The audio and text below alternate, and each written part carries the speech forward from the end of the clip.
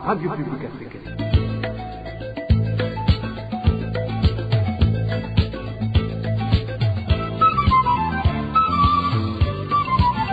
Radio Publique Africaine.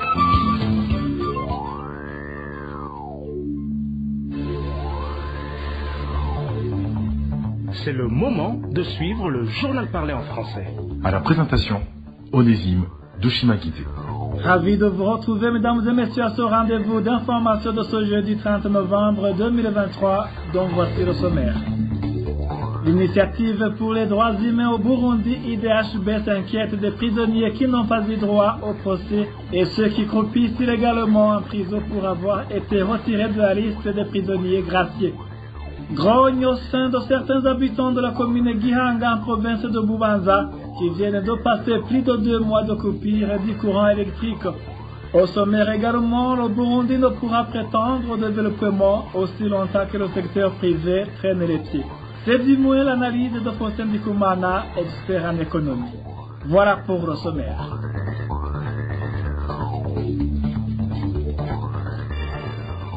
Ouvrons cette édition sur la page justice. Les prisonniers qui ont été retirés de la liste des prisonniers graciés croupissent illégalement en prison selon l'IDHB. L'initiative pour les droits humains au Burundi parle aussi des prisonniers qui n'ont pas eu droit au procès dans son récent rapport. Le point avec Émile Nilassoum. L'emprisonnement de Christian Butoyi dans l'affaire d'assassinat des trois religieuses italiennes en 2014 figure parmi les cas d'emprisonnement illégal selon l'IDHB qui indique que ce prisonnier qui souffre d'une maladie mentale n'est pas capable de se défendre. Il n'a pas non plus de famille pour le défendre selon cette organisation. Elle rappelle qu'en octobre dernier, la ministre de la Justice a dit que ce prisonnier avait un problème mental mais qu'il avait été soigné au centre neuropsychiatrique de Kamenge et qu'il prenait des médicaments. L'IDHB rappelle aussi que la ministre a affirmé qu'aucun membre de sa famille ne venait faire son suivi, mais que Christian Rutoyi était entre les mains de l'État et qu'il n'avait donc aucun problème. L'initiative pour les droits humains au Burundi déplore le fait que la ministre n'a exprimé aucune préoccupation par rapport au fait que Rutoyi a passé 9 ans en détention préventive, ce qui dépasse largement les limites légales. Selon l'IDHB, la ministre n'a pas non plus reconnu qu'une personne qui a des problèmes de santé mentale a aussi droit à un procès équitable que lui accorde la Constitution. Christian Rutoyi est sur la liste de nombreux prisonniers qui ont été délibérément ignorés et n'ont même jamais comparu devant un tribunal, signale l'IDHB. L'initiative pour les droits humains au Burundi parle aussi d'au moins quatre membres du mouvement pour la solidarité et la démocratie, le MSD, qui sont toujours détenus parce qu'ils ont été exclus de la liste des prisonniers que le président de la République a gracié en 2017. Selon l'IDHB, la ministre de la Justice avait promis que les accusés dans cette affaire d'arrestation des membres du parti MSD à leur permanence nationale le 8 mars 2014 seraient graciés. Ils étaient environ 70 dans l'affaire, mais Gérard Nahimana, Daniel Rugonumugabo, Clément Hatungimana et Jean de Dieu Vigirimana croupissent toujours en prison alors que leurs pères ont été libérés. Selon l'IDHB, un responsable de la justice a déclaré à ses membres du MSD détenus, je cite, Nous connaissons votre cas et cela nous préoccupe. Il doit y avoir quelqu'un qui a un problème avec vous, qui a voulu vous faire du mal. Attendez patiemment et nous nous en occuperons. C'est une affaire politique. Fin de citation. Parmi les raisons qui favorisent la détention illégale des prisonniers figure, selon l'IDHB, l'abus de pouvoir. Merci à toi, Émile Nivassoum. En page politique, après environ trois semaines que la commune Boubanza est dans les mains du secrétaire permanent, ce jeudi matin, Olivier Nyonguru, administrateur de cette commune, a repris ses fonctions. Olivier Nyonguru avait remis sa lettre de démission au président du conseil communal en date du 12 novembre 2023. Elle était accusée par le conseil communal de mauvaise gestion de la commune, de malversation et détournement du patrimoine de la commune. Dans les cérémonies de reprise de fonction était présent le conseiller socio-culturel du gouverneur qui lui a remis les du bureau, du véhicule et le sceau de la commune. En page gouvernance, certains responsables d'origine Sosimo ont transformé des étendues de terre de cette société à leur propriété privée. Ils cultivent des cultures vivrières et récoltent des tonnes qu'ils amènent chez eux. Le point avec Hervé Mungere. Au milieu des plantations de canne à sucre d'origine Sosomo, on peut y trouver des intrus. Il s'agit de cultures vivrières. Ces cultures appartiennent aux responsables de l'entreprise. Quelquefois, ils peuvent favoriser celles de leurs proches et les offrir de l'espace ou cultiver. Quand tu passes juste ici, le rimena dans les plantations, tu ne peux rien remarquer. Tu ne vois que les cannes à sucre. Pourtant, ces cannes à sucre cachent des cultures vivrières à l'intérieur. Ces cultures sont pour les chefs et certains de leurs proches.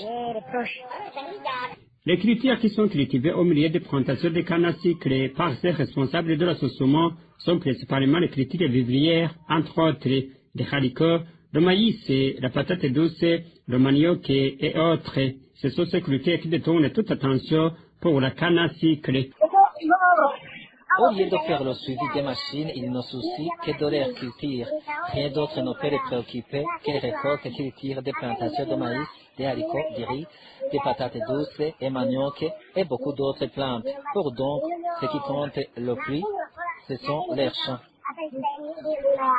Ces cultures vivrières se font entourer par les cannes à sucre pour tromper l'opinion. Ce sont ceux qui se rendent, qui peuvent s'en rendre compte, hormis que tous les moyens utilisés pour labourer sont les moyens de l'association.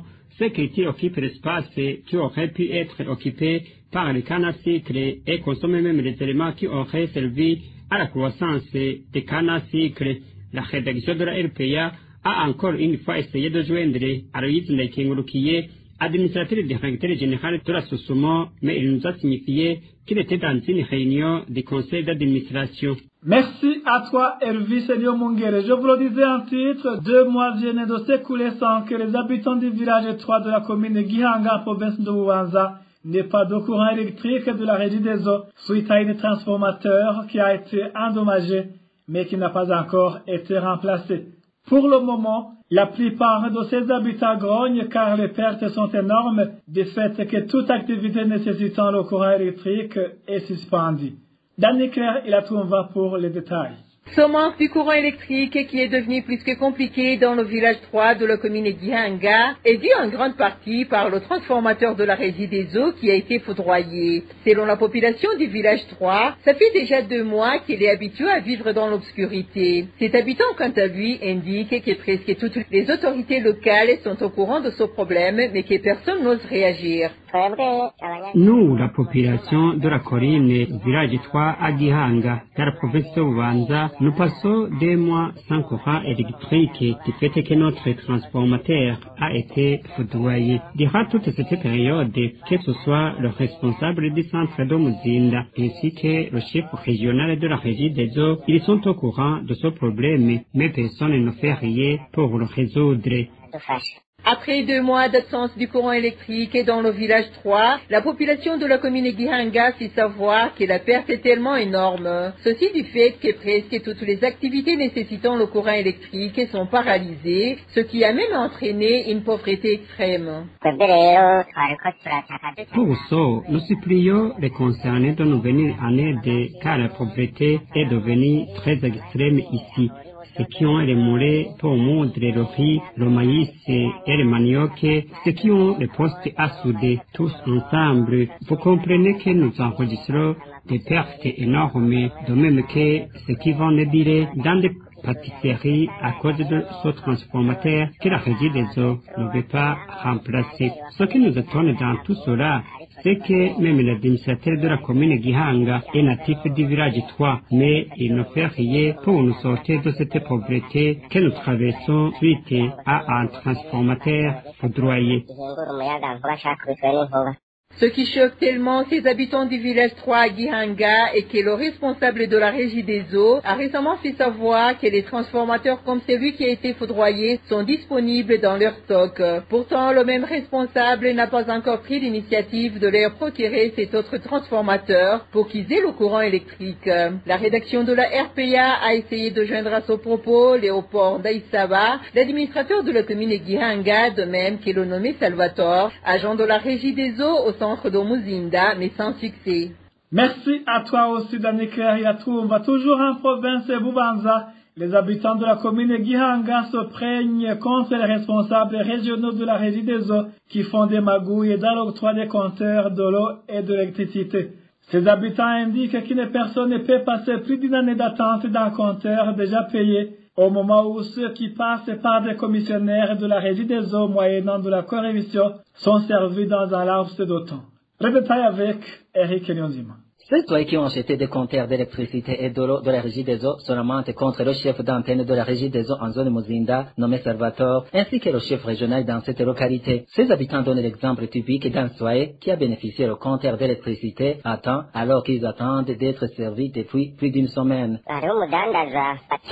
Il y a un commerçant du nom d'Emmanuel, surnommé Ebowe, qui a bénéficié un compteur d'électricité alors qu'habituellement il n'y a pas d'électricité fait que le transformateur est en panne. Ces agents de la des ont créé des commissionnaires avec qui ils collaboraient pour chercher des clients qui donnent des points levés afin que le dossier avance rapidement. Alors que nous, nous passons plus d'une année sans avoir nos compteurs.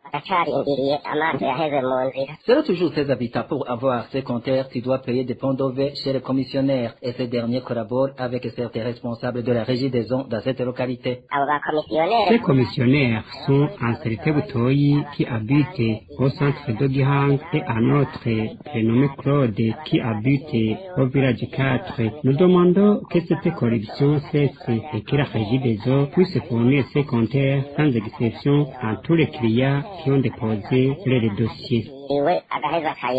À propos de ces lamentations de la population de la commune de Gihanga, nous n'avons pas pu joindre des responsables de la régie des eaux dans cette région pour donner des éclaircissements. Merci à toi aussi, Eric Nyonzima. Après une petite transition, nous parlons économie. Le Burundi ne pourra prétendre au développement aussi longtemps que le secteur privé traîne les pieds. C'est du moins l'analyse de Faustin Dikoumana, expert en économie. Au cours d'une conférence de presse que le président de la PARSEM a animée ce jeudi, il en a profité pour demander au gouvernement burundais de revaloriser le secteur de l'éducation car c'est lui la clé de toute réussite. D'abord, comme rappel, le secteur privé doit être considéré comme créateur de richesse. C'est le secteur privé qui crée la croissance. C'est le secteur privé qui, qui produit les biens services, qui améliore le revenus des gens, des personnes, qui résout le problème de chômage, qui donne les ressources à l'État. C'est le secteur privé qui finance l'État. C'est le secteur privé qui assure l'amélioration du bien-être des citoyens. Aussi, nous devons considérer qu'on ne pourra jamais parler de, de l'émergence sans se baser sur un secteur privé efficace et performant.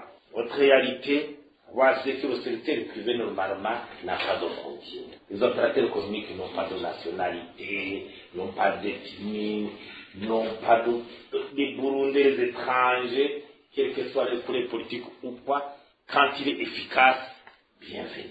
Et vous devez savoir que le l'entrepreneur privé, c'est un homme rationnel, il ne peut jamais investir son capital là où il va perdre.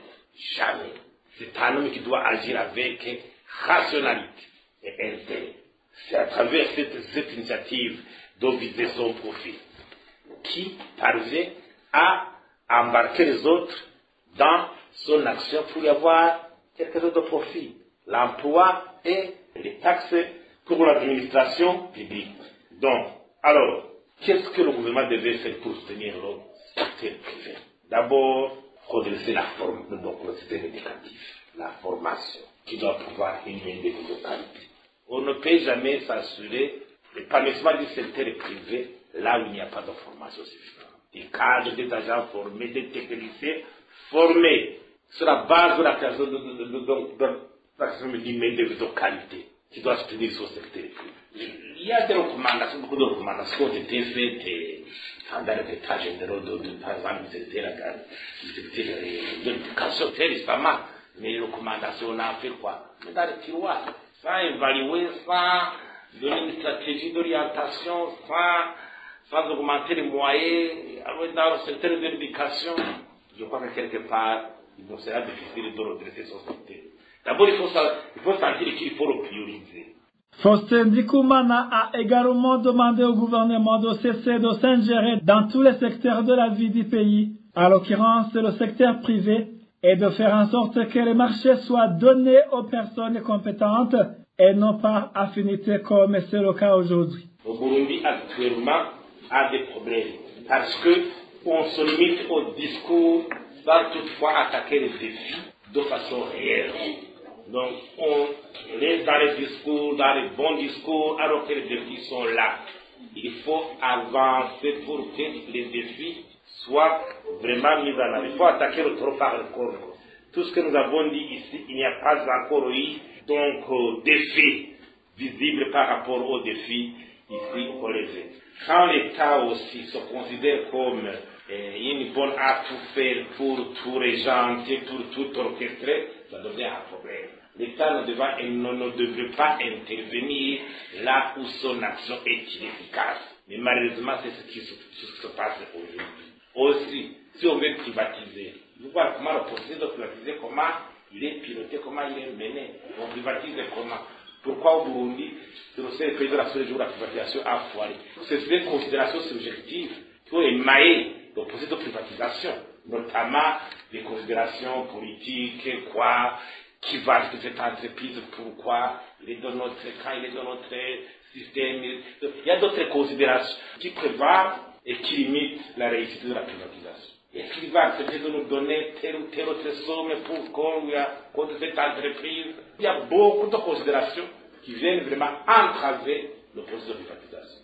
C'est cela qui limite les résultats dans ce secteur. C'était Faustin Dikoumana, président de la PARSEM. Mais les habitants de certains quartiers de la zone Ngagara à Mérido Bujumbura, dont les appareils électroménagers ont été endommagés par la surintensité du courant de la régie des eaux, doivent s'adresser à la justice burundaise pour être dédommagés. Propos de maître Yves Runyagu qui conseille les victimes de ce désagrément de ne pas avoir peur croyant qu'ils sont en train de faire un bras de fer avec le gouvernement car ils sont dans leurs droits. Écoutez plutôt maître Yves Runyagu. Si on analyse les différents textes, à commencer par les textes même qui mettent en place la régie des eaux, si on analyse la, la loi régissant les sociétés publiques et privées, si on analyse même des cas de jurisprudence, euh, que ce soit dans les pays proches du Burundi ou ailleurs, il est théoriquement possible d'attaquer la régie des eaux en justice pour qu'elle puisse répondre de, de ses faits, de son action ou de son inaction. Ça c'est au niveau purement théorique quand même, il faut l'avouer, mais dans la pratique, c'est pas toujours évident, hein, à commencer par euh, nos mentalités d'abord. Vous savez qu'il n'est pas de notre de l'entendement de beaucoup de gens de porter plainte à chaque fois, surtout contre une institution jugée un peu gigantesque comme la Régie des eaux, un organe de l'État. Euh, C'est pas facile, surtout chez nos frères burundais. Mais théoriquement, ça reste possible, et je pense que c'est aussi de notre devoir, du devoir euh, de des clients même de la Régie des eaux, de briser ce tabou hein, pour pouvoir porter plainte. Peut-être que même cette justice dont on dont on dit beaucoup de mots ces derniers jours, pourra se ressaisir et comprendre que il est nécessaire de dire la loi. Et ça pourrait constituer même euh, un bon précédent, euh, jurisprudence qui pourrait servir de référence pour même des cas à venir, que ce soit par rapport à la régie des eaux ou par rapport à d'autres euh, entreprises même, qu'elles soient de droit privé ou de droit public. Dernière nouvelle de cette édition, le manque de latrines dans les lieux publics, notamment les bars et restaurants, inquiète les habitants de différentes communes de la province de Bururi qui fréquentent ces endroits. Ces habitants craignent d'attraper les maladies liées au manque d'hygiène. Le point avec Eloge de Vérémige. La problématique du manque de latrines s'observe beaucoup plus au niveau des bistrots et restaurants, indique des habitants de la province de Bururi dont nous sommes entretenus. La majorité de ceux qui se rendent dans ces endroits et qui éprouvent le besoin de se soulager sont orientés vers des forêts se trouvant aux alentours. Ce qui demande aux propriétaires d'un bistrot ou d'un restaurant au centre de la commune Bururi de t'orienter vers une latrine pour te soulager, ils te dirigent vers un endroit proche, par exemple un hôtel possédant des latrines. Et là, c'est quand il voit que tu es un homme un peu civilisé. Au cas où tu ressembles à un citoyen ordinaire de la localité, il te montre des bananeries et te dit d'aller te soulager là-bas. C'est le même cas à Rutobu, à Matana, à Gitanga, où des bistrots n'ont pas de latrine aussi. Et les clients se soulagent dans les. Autre milieu cité par des habitants de Bururi, c'est au niveau des marchés. Toute personne qui désire se soulager est obligée de sortir du marché pour aller se soulager à l'extérieur. Compte tenu de cette situation, ces habitants de Bururi demandent l'action des autorités. Il y a aussi des marchés qui ne possèdent pas de latrines, des occupants de stands où les clients qui éprouvent le besoin de se soulager doivent sortir du marché et vont se soulager à l'extérieur. Nous risquons d'attraper des maladies liées au manque d'hygiène. C'est la raison pour laquelle nous demandons aux gouverneurs et aux administrateurs de différentes communes de prendre en main cette problématique et d'agir avant que le pire n'arrive. Qu'ils exigent aux commerçants de construire des latrines afin d'éviter des maladies liées au manque d'hygiène. La rédaction de la RPA a téléphoné au colonel Leonidas Vandenzamaso, gouverneur de la province de Ururi, pour recueillir sa réaction, mais son téléphone sonnait sans que personne ne décroche. Merci à toi, Eloge Duvel et Mécha. Merci, mesdames et messieurs, d'avoir prêté oreille attentive. Ainsi prend fin cette édition. À la présentation, vous étiez avec Onésime de Chimagis. Passez de bons moments chez vous. Au revoir.